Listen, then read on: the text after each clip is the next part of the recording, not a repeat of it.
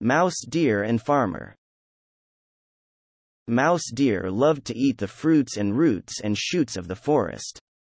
But he loved something else even more. He loved the vegetables in Farmer's garden. One day, Mouse Deer went to the edge of the forest. He looked out at row after row of vegetables. Um, said Mouse Deer. Juicy cucumbers. Yummy yams. He started into the garden. Snap. Oh. His leg was caught in a snare. Mouse Deer pulled and pulled. But he could not get away. Oh, no, he said. Farmer will have me for dinner. Then he saw Farmer coming. Mouse Deer thought fast. He lay on the ground and made his body stiff. Well, well, said Farmer. Look what I caught. A mouse deer. But he looks dead. Farmer pushed him with his foot. Mouse deer didn't move. Maybe he's been dead a long time, said Farmer. Too bad. I guess we can't eat him. He pulled Mouse Deer's leg out of the snare. Then he tossed Mouse Deer back into the forest. Mouse Deer landed with a soft plop. Then he jumped up and ran.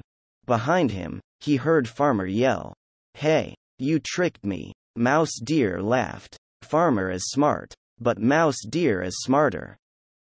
A few days passed. Mouse Deer kept thinking about all those vegetables.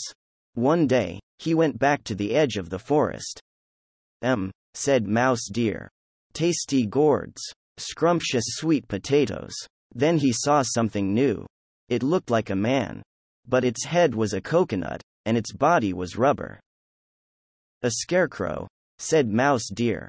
That silly farmer. Does he think he can scare me with that? I'll show him how scared I am. Mouse Deer marched up to the scarecrow. Take this. He gave it a big kick.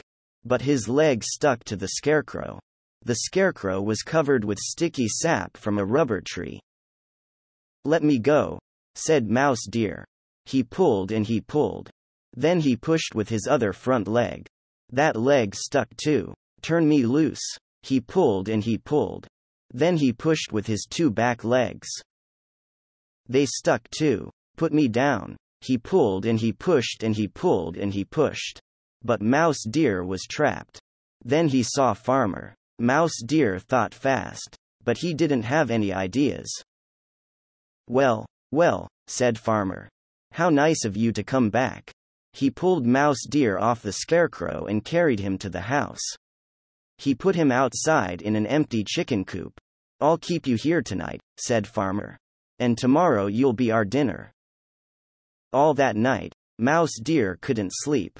He didn't want to be dinner. When the sun rose, Mouse Deer just lay there sadly. Then he heard something. Why, it's Mouse Deer. So Farmer caught you at last. It serves you right. It was Farmer's dog. Mouse Deer thought fast. What do you mean, dog?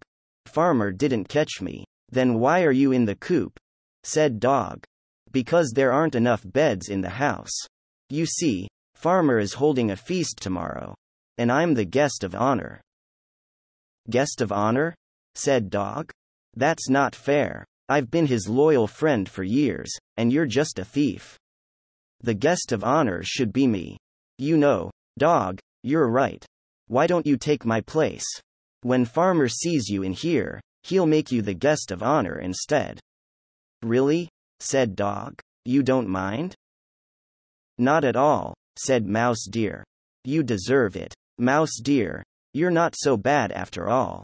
Thank you. Dog lifted the latch and opened the door. You're welcome, dog. Enjoy the feast. Mouse Deer ran for the forest. Then he watched from the forest edge.